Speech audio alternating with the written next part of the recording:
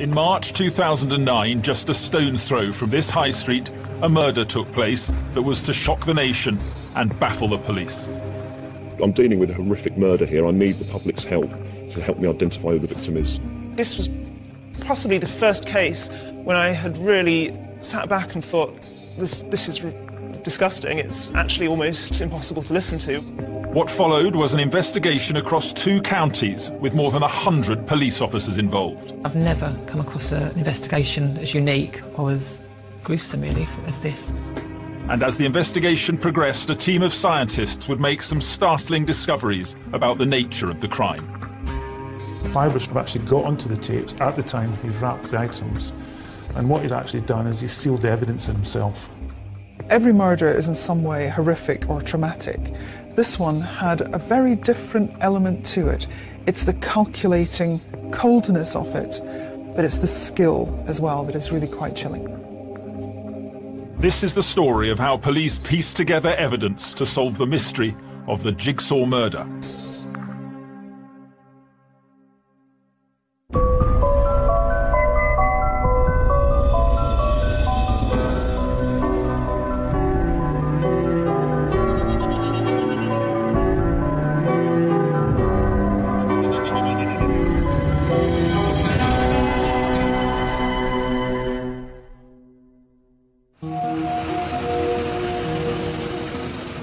Southgate, a suburban residential area on the outskirts of North London.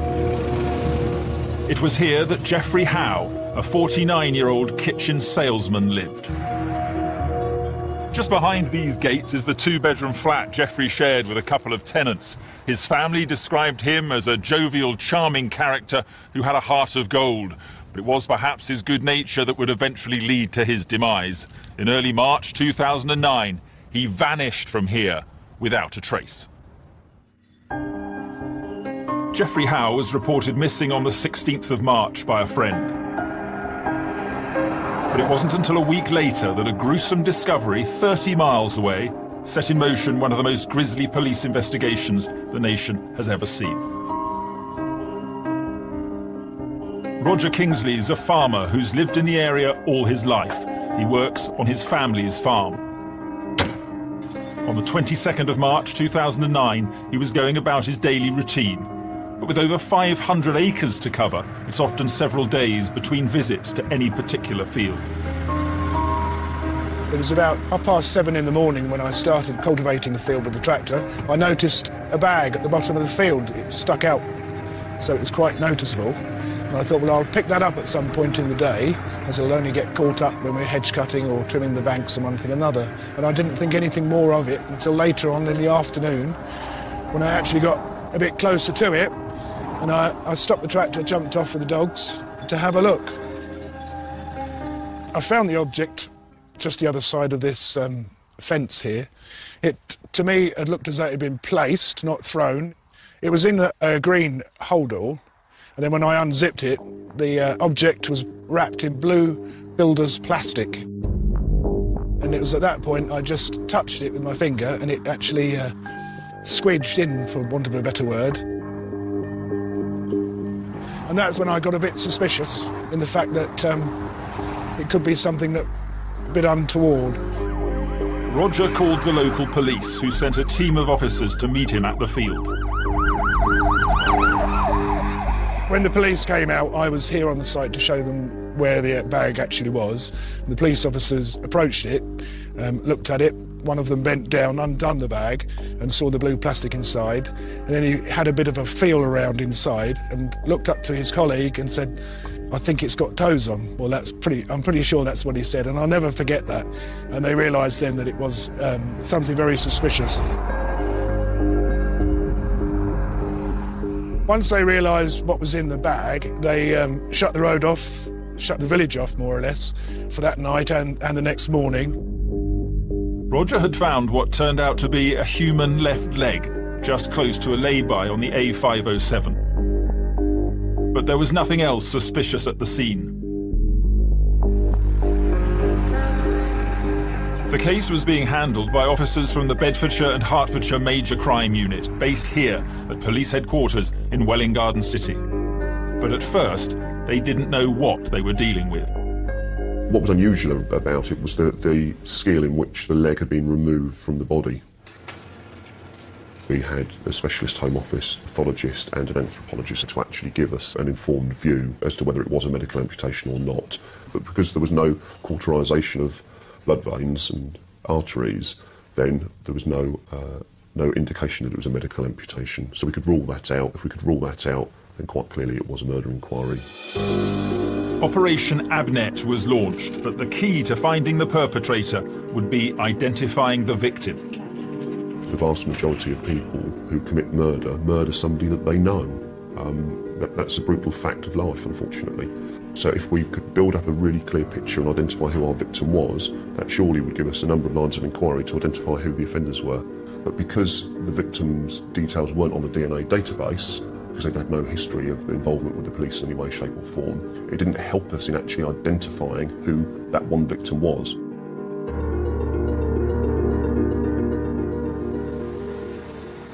The police were making slow progress, but over the next few weeks, members of the public would make further discoveries that helped unravel the mystery which was baffling both the investigating team and forensic experts, especially when a human head was discovered. It is a head with a face that has been removed. There are no eyes, there is no nose, there is no mouth, there is no tongue, there are no ears.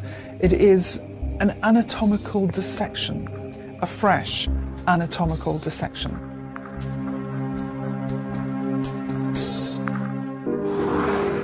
After the discovery of a human left leg in a lay-by in Cottered, Hertfordshire in March 2009, a murder investigation, Operation Abnet, was launched. With just one gruesome discovery made by a member of the public, police were baffled. It begged belief to start with, to think what is the behind this murder, what is the motive for this murder. And a week later, on March the 29th, there was a second discovery. A passerby found a left forearm discarded on a quiet country road in Wheathampstead. Almost 25 miles from the Cottered site, the key question was, were the two body parts related? It's extremely rare for body parts to be distributed and then to be found in, in the, the, way that it has in this case. Um, of course, a, a concern to me was, are we talking about one victim or are we talking about a number of victims? And it was only after the discovery of the body parts that we could then carry out forensic testing to compare uh, DNA between the body parts to confirm that we were, in fact, talking about one victim. The police began looking into missing persons records, but without being able to identify the age, ethnicity, or even gender from the body parts, it was proving difficult. With no identity, there was no obvious motive, and the absence of even a murder scene left police with very little to go on. But while inquiries were taking place here in Hertfordshire, the case was about to open up on a much wider scale with a new discovery almost 100 miles north in Leicestershire.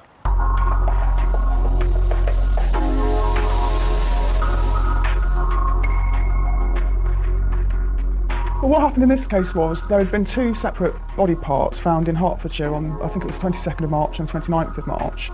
On the 31st of March 2009, a Tuesday, um, there was the discovery of a human head in a field in Asfordby near Melton Mowbray. Officers began a painstaking search of the area, looking for further evidence around where the head had been found.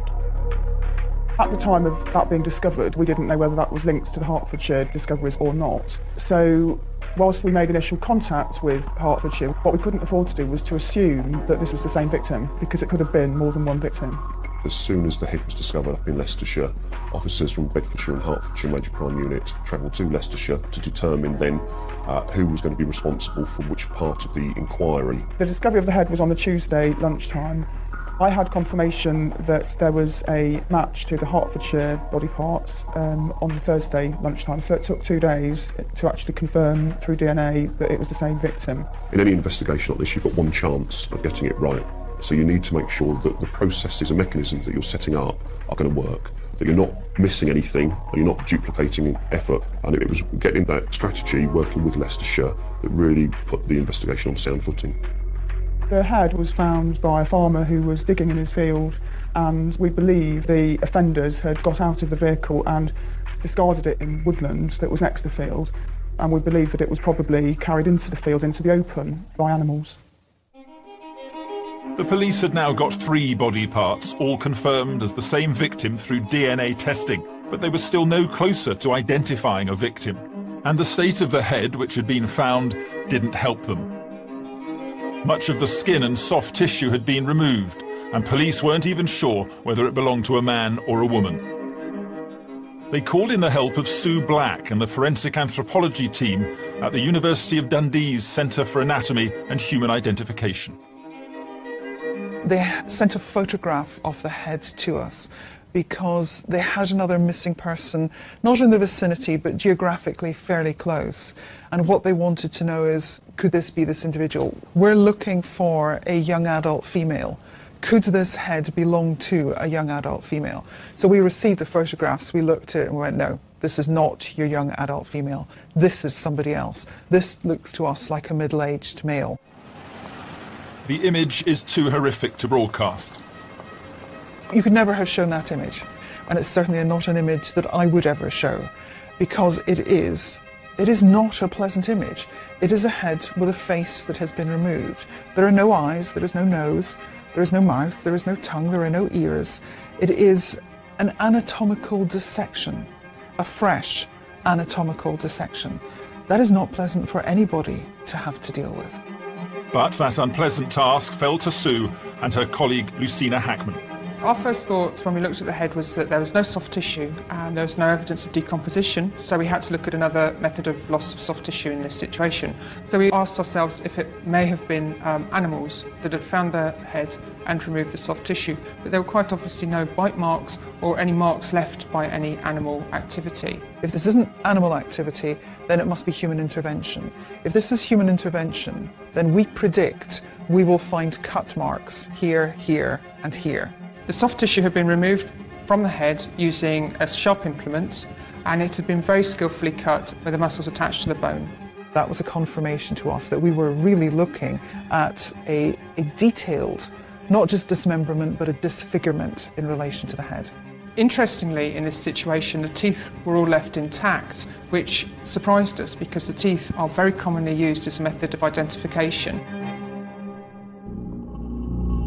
This is the CT scan of the skull. But even with the teeth intact, without any clue as to who the victim was, there were no dental records to compare them with, and the search for an identity continued. The police and forensics experts were working with what had been recovered so far. To date, only a left leg, left forearm, and head had been unearthed.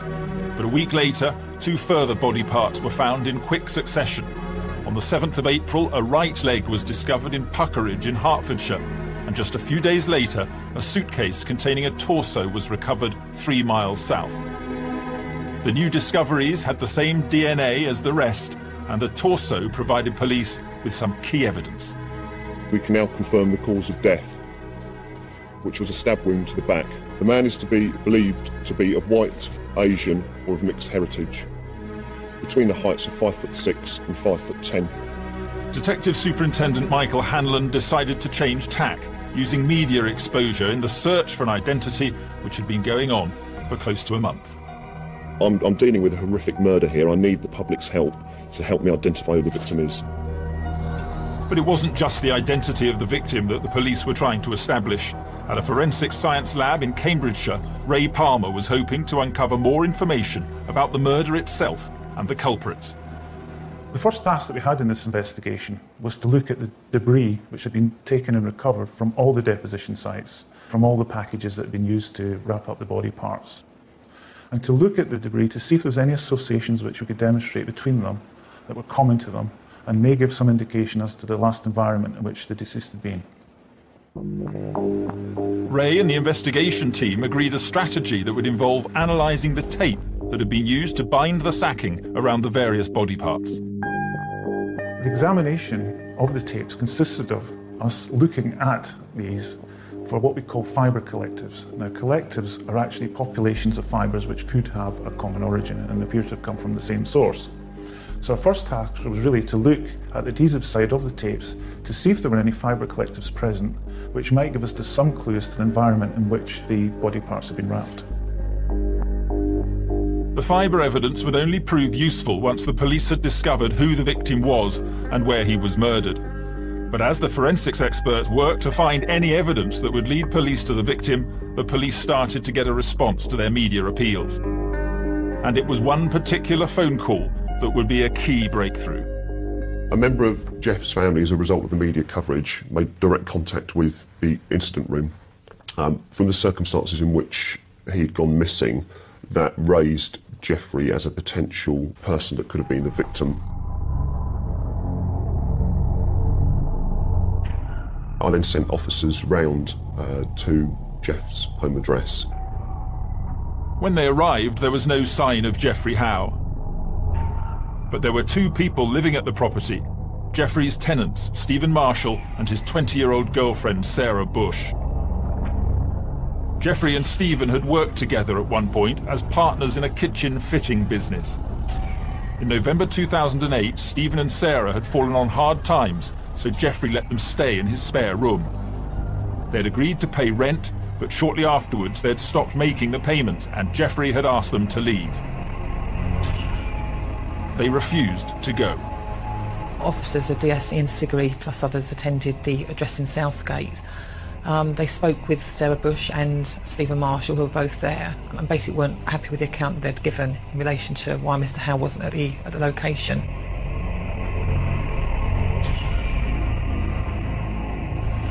The reaction that Marshall and Bush gave when officers went round there was such that they were nervous, were being a little evasive. It caused concerns for the officers who then phoned up to say, well, OK, look, we're not happy with what we're being told. What do you want us to do? Sounds like a strange question, but a question where we don't know who the victim is at that stage. They made a cursory search of the address, and secreted in one of the wardrobes was a number plate with the registration H8WEJ, which basically reads Howe J, which belonged to Jeffrey. And at that point, they obviously had quite um, huge concerns. Um, they made um, the decision to leave the address, regroup, and then the arrest was made um, quite soon after that. Stephen Marshall and Sarah Bush were taken to Hatfield Police Station for questioning. While they were in custody, forensics experts began to search for any evidence of murder in Jeffrey Howe's flat. But time was against them. If the police couldn't obtain significant evidence, the pair would have to be released after 24 hours. They're arrested for a murder that's happened, but we don't actually know that that murder has happened. But that then starts the clock in terms of how long we can keep people in custody. We needed to work 100 miles an hour, literally, to get the evidence because we hadn't gathered any evidence against them as individuals prior to their arrests. Initial looking at the flat didn't reveal that that was necessarily the murder scene because quite clearly a really thorough clean-up operation had taken place. It was only when we managed to start moving furniture around, pulling carpets up, that the forensic examination revealed that there was a quantity of blood in both the bedroom and the bathroom. So we believe that he was stabbed in the bedroom and then the dismemberment took place in the bathroom. As officers worked around the clock at the crime scene, Detective Constable Sue Burns was preparing to interview Stephen Marshall. When I first met Marshall, he came across as a charming, nice person, if I'm honest, and he actually kept that up throughout the time in police custody. Do you, do you know, confirm that's Jeffrey Howe? No comment. Do you recognise that person to be Jeffrey Howe? No comment. When he was being interviewed, he took up his right to make no comment during the interviews, which um, is obviously legally allowed to do. Are you surprised to learn that Jeffrey Howe's been murdered? No comment. How did you feel when you found that he'd been murdered? No comment. You think you're going to be dealing with someone that's kind of monster-like, and when you then get a man in front of you who isn't a monster, it's quite difficult to attribute what he's done um, or what's happened to this particular person. I believe he was a friend or an associate of yours. No comment. And my understanding is he's been quite kind to you in the past by allowing you to stay at his home address. No comment.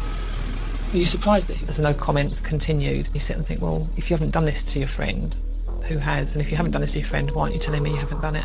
And as the interviews progressed, his guilt became more and more apparent. Do you feel upset by the fact that not only has he been murdered, but someone's chosen to dismember him and place parts of his body around the countryside? No comment. How does that make you feel? No comment. You've got no comment to make about that in, rela- in any shape or form. No comment. Bearing in mind, obviously, these people will be listening to this tape, and he's a friend of yours, and most people, I would say, would be quite shocked by the fact that someone's been killed and dismembered. No comment. Throughout the whole of the interview, there was no remorse shown by Stephen Marshall. However, once the tape's finished, he was very courteous and very polite, and you know, and just seemed a just a genuinely um, just normal person. Are you responsible for the killing and the dismembering of your friend Jeffrey Howe?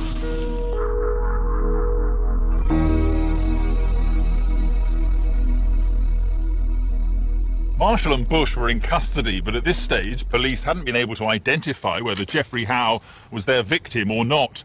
A thorough search of his flat had failed to provide any suitable items to take DNA from. And although Jeffrey had been flagged up by his brother to police as a missing person, he was adopted, so no DNA link could be established to his family. There were, however, other avenues to explore. We all have unique faces and unique skulls. So if we have enough information about the skull and the face, it's as characteristic as a fingerprint. Two people are still in police custody this evening in connection with the so-called jigsaw murder. The 37-year-old man and a woman aged 20 were arrested yesterday. Following the discovery of five body parts across Hertfordshire and Leicestershire in March and April 2009, police had arrested Stephen Marshall and his girlfriend Sarah Bush on suspicion of murder. Are you surprised that he's been murdered? No comment. What can you tell me in relation to his murder? No comment. Do you feel upset by his death? No comment. From the point of their arrest, Marshall made no comment to any questions put to him, so he, he didn't give us anything to work with. Bush gave an explanation, an explanation that was quite clearly uh, a web of lies. He seemed really lost. In what respect?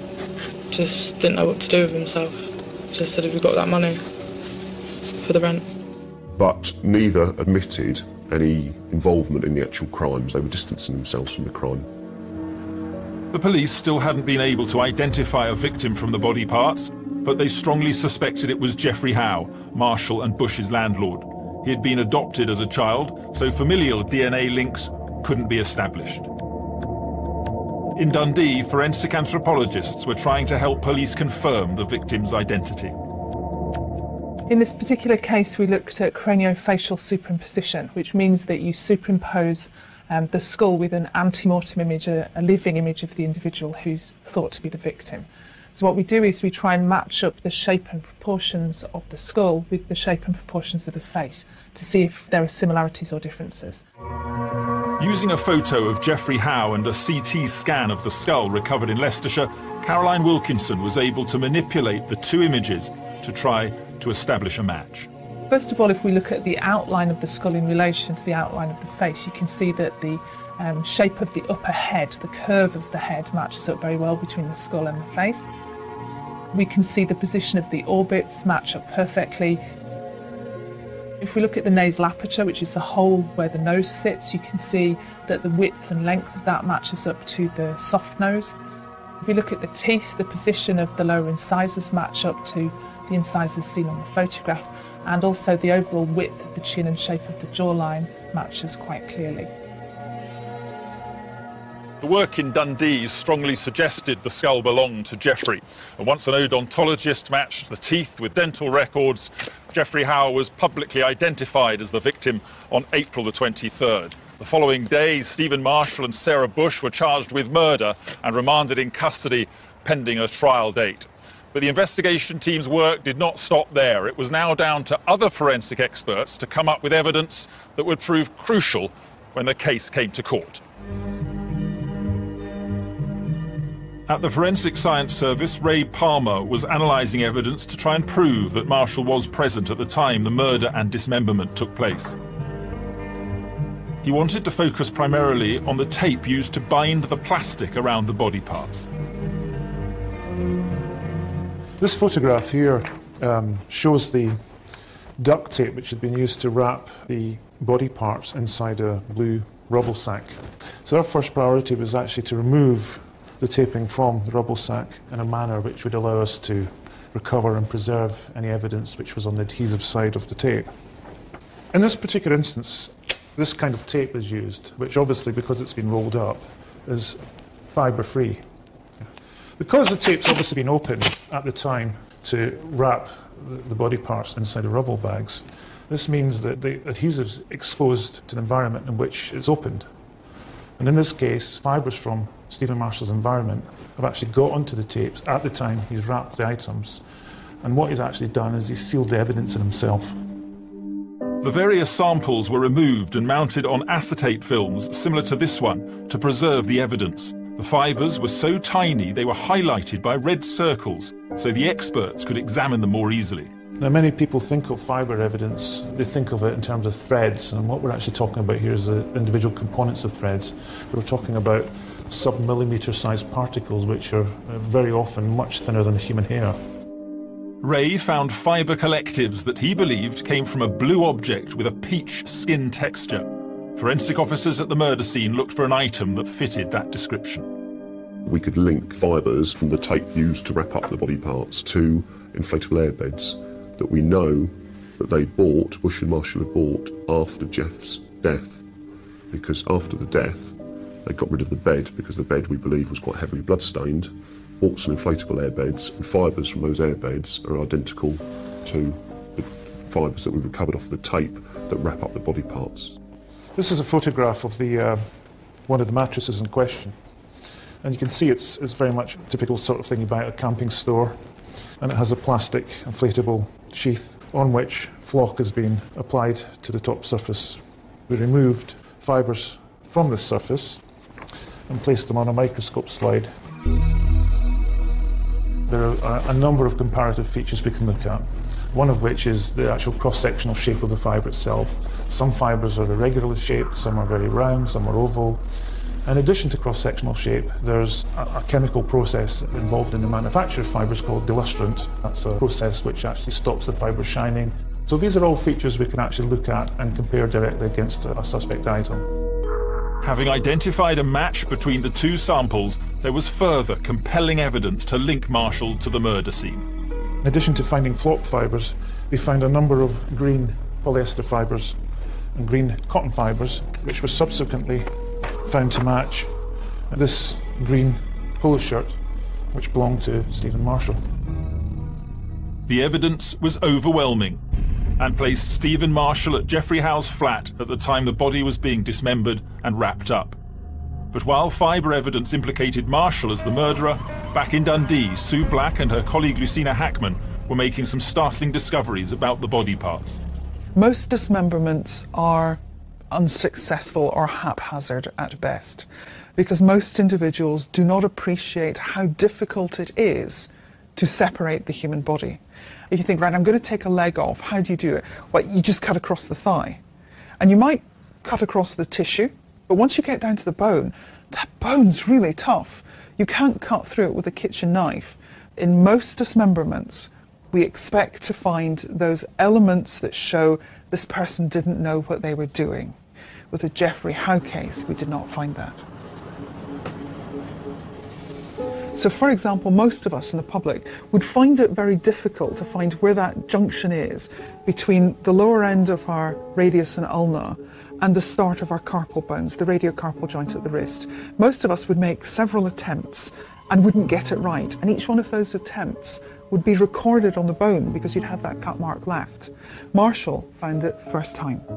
The body was dismembered at the joints. There was no cutting of the bone. And that's what takes the time in a dismemberment, is cutting through bone. You need an implement that will actually saw through the very large bones of the lower limbs, for example, and the larger bone of the upper limb. In this case, because um, the individual went through the joint capsules, all it meant was cutting through soft tissue and cartilage and then separating the body at those spaces. So the dismemberment could have been done in a couple of hours easily by somebody who knew what they were doing. I've been an anatomist for oh, at least 25 years, I would say, and I've seen quite a number of dismemberment cases. I have never, ever seen anything at this level of skill that I think if I was given this task, if I had to do this, would I have done this any differently? And the answer is no, I wouldn't have done it any differently. He did it perfectly. And would I have done it any better? No, I couldn't have done it any better. So, this is someone who, as an anatomist, I'm looking at an equal in terms of skill, and that's quite chilling. The forensic team's investigations had raised further questions for the police force. A line of inquiry was to try and establish whether or not Marshall had any uh, background in knowledge of anatomy, whether he'd previously been a, a, butcher, gamekeeper, something along those lines. But no evidential link was established there. This left no logical explanation as to how Marshall had acquired these skills, and investigations into his past continued. On the 1st of May 2009, Marshall and Bush appeared in Stevenage Magistrates Court. They both entered a plea of not guilty, and at the prosecution's request, it was January 2010 before the case went to trial. Right from the start of the trial, there were surprises, even before the jury had been sworn in. Marshall had originally pleaded not guilty to everything, um, but on the first day he changed his plea and he admitted dismembering the body. What he didn't admit to was the murder.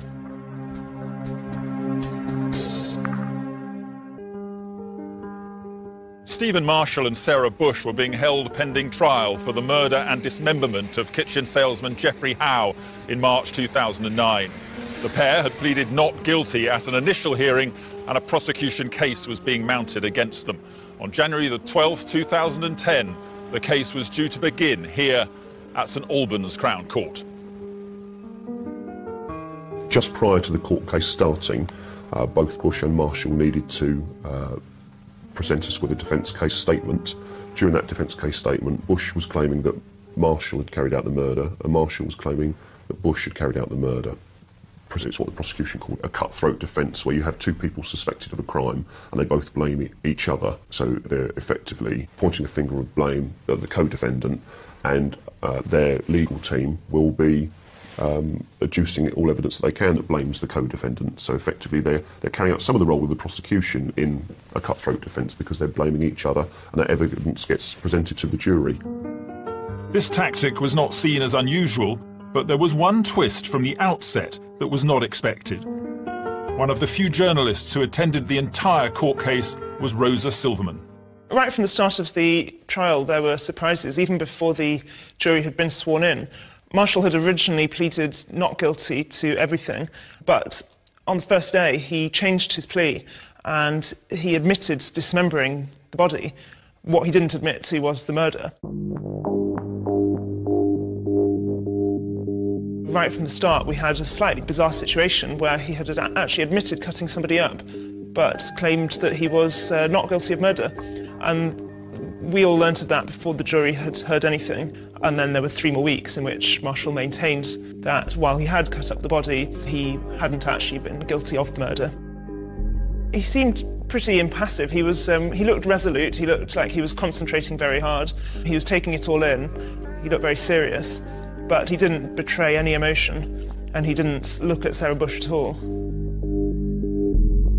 The lack of a rapport between them in court, the lack of any kind of noticeable eye contact or exchange of smiles or exchange of any words or anything at all suggests that relations between them had frozen somewhat since they were arrested and held in custody. As the case progressed, the prosecution witnesses painted a grim picture of Marshall's character. Marshall was known to us, he's got a history of, of violence, and again, that was evident in what the court heard throughout the time that the prosecution were presenting their case quite clearly, uh, he has a propensity to violence. You know, we, we heard about different levels of violence that he'd used to a number of witnesses that gave evidence during the trial. So a very manipulative, dangerous individual who wouldn't bat an eyelid at turning to extreme violence. But some of the most compelling facts presented to the court focused on Marshall and Bush's actions after the murder, which had left a significant trail of evidence. The evidential links showed that both Bush and Marshall were plundering all of Howe's assets immediately after his death. Not particularly intelligent, because that was always going to lead the police back to them. And the abuse of Jeffrey's assets, stealing his money, began less than a day after he was murdered. On the 9th of March, Marshall sold Jeffrey's phone for £15 at this shop. The following day, Sarah Bush used the internet at St Albans Library to buy a mobile phone using Jeffrey's account.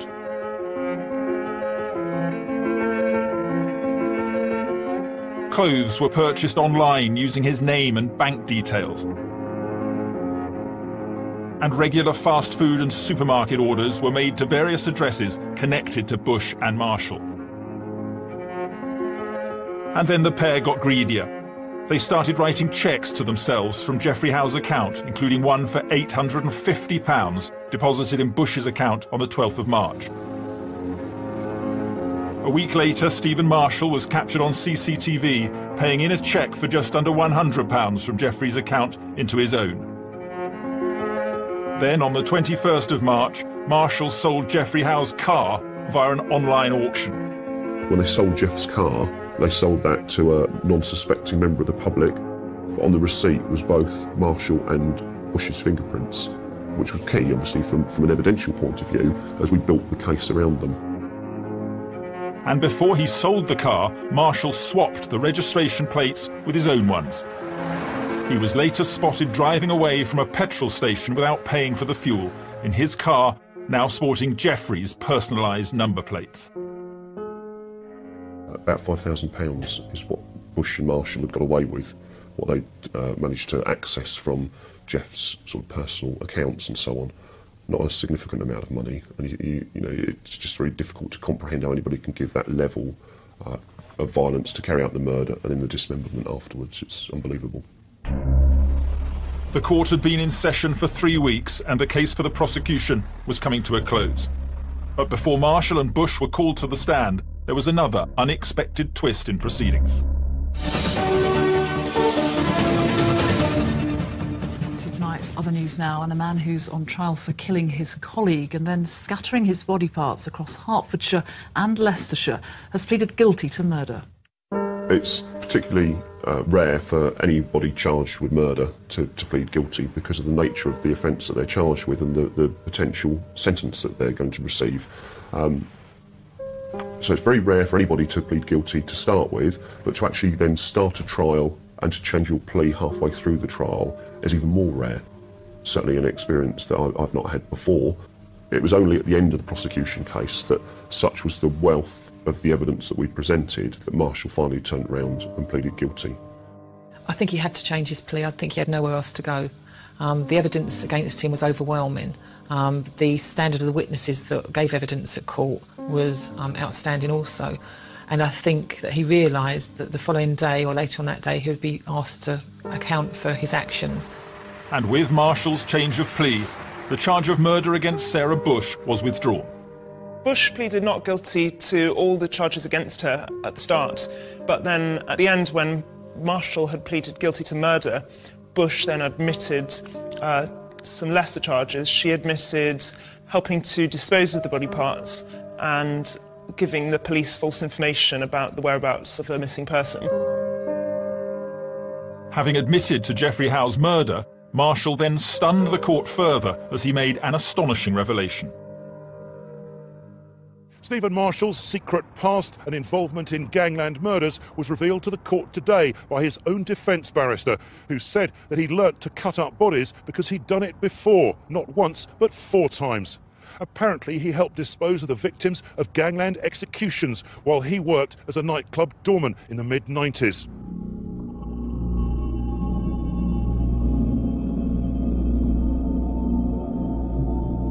He came out with this shock confession almost, which he really didn't have to do. I was just aghast by the fact that in mitigation, um, generally people um, will say that they've had poor upbringings, um, there's been financial issues, things such as that, but to actually turn around and say in mitigation that um, they'd actually dismembered um, four other bodies was just, well, I've never heard of that before ever.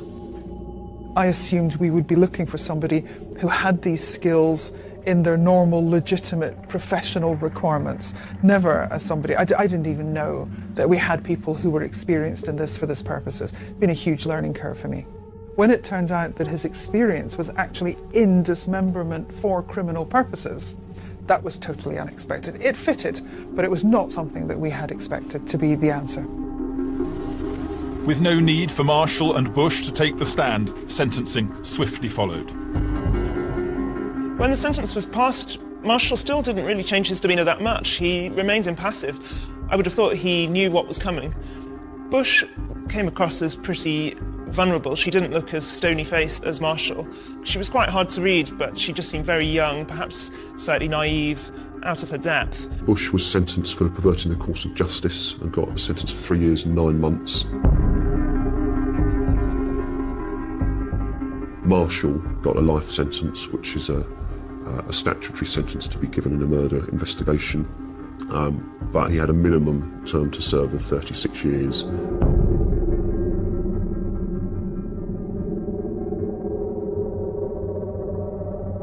And as far as the astonishing evidence Marshall gave in mitigation about his disposal of gangland murder victims' bodies, the Metropolitan Police tell us that no links have been found to any outstanding cases.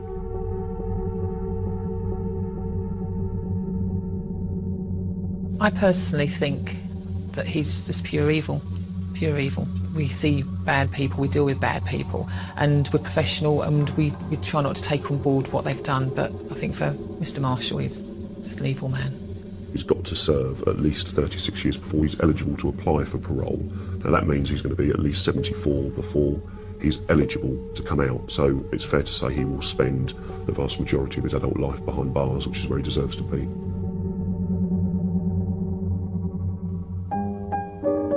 Well, they've not met since the 2006 World Cup, but tomorrow night in a friendly at Wembley, they'll face each other. Again, that's England versus Sweden at 7.30. Next, though, we're off to the zoo.